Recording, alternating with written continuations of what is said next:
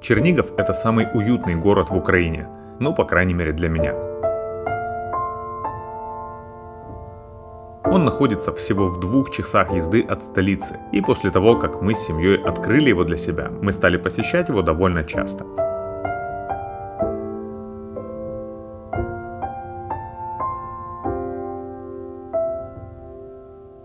Это идеальный город для того, чтобы отдохнуть после тяжелой недели, да и в принципе в нем можно небольшой отпуск провести. Тут можно снять апартаменты или номер в отеле и целые выходные гулять по большому центру или летом отдыхать на новом городском пляже с кучей спортивных и детских площадок, кафешками.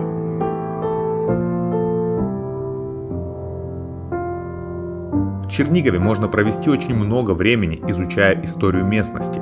Она богатая, Тут собрано огромное количество церквей и храмов разных времен. Есть пещеры. Хороший гид, которых тут много, заинтересует всех, включая детей. Кстати, последний раз, когда мы тут были, количество туристов в городе было более 7 тысяч за день. Чернигов за последние года сильно преобразился и превратился лично для меня в один из любимых городов, в который я с удовольствием ехал каждый раз. У нас с семьей здесь даже есть любимый ресторан, в котором делают самые вкусные завтраки. Но недавно мой друг из Чернигова написал мне, что нашей любимой кафешки больше нет.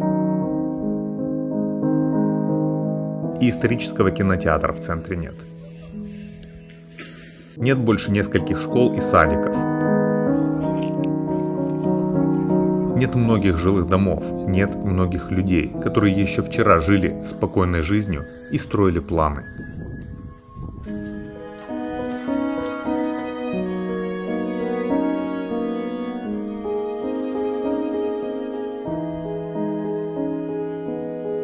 Никто не хотел войны в своем родном городе. Люди лишились мирного, цветущего города Чернигов. Теперь он в дыму, а на улицах руины и кровь. Но мы обязательно выиграем. Мы обязательно восстановим все. Мы никогда не забудем тех, кого больше нет с нами.